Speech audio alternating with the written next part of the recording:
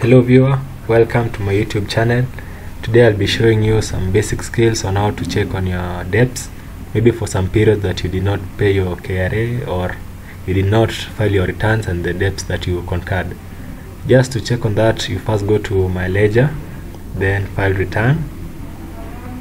Now you go to my ledger and then you click general ledger here.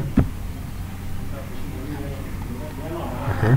You can see here is my pin and my names for an example. Then on the transaction type you put penalty penalty. On the account type click on the taxpayer main account. Then on the subhead just click on the income tax resident individual. Then here you select your transaction date. Maybe for the period that you suspect you did not file your returns I, I'm just going to use the the the just going to use the date we are in today for an for an example. Then on the transaction to date just select the same date for for an example. But as for you maybe for for the period that uh, you skipped to file your returns the, the date you're going to put on this transaction from date this stage here. And then on the tax period still is the date that you suspect. You did not file your returns.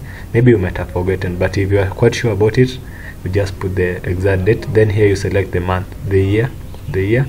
So I've just used an example of 2020 and then you click on show ledger. Then this will appear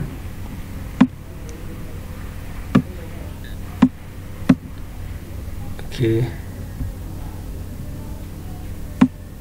You'll see something like this.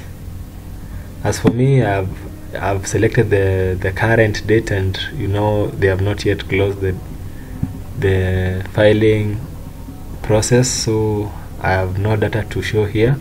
But if you have some penalty or some seasons that you did not file your returns you're going to get everything here.